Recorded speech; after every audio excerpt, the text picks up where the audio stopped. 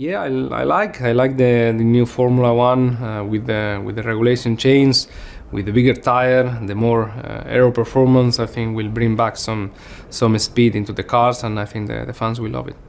I think with Stoffel everything is, is gonna be okay. Uh, he's super talented driver, and uh, he won uh, all the the smaller categories before Formula One, and, and he's uh, very ready to to to challenge all of us now in, in the big category. And uh, yeah, I will miss uh, Jenson in a way. Obviously, has been uh, a fantastic two seasons uh, for us working together. But uh, yeah, with the Stoffel, everything will be also a, a new, fresh uh, ideas, new, fresh pushing that will will benefit the team from from that.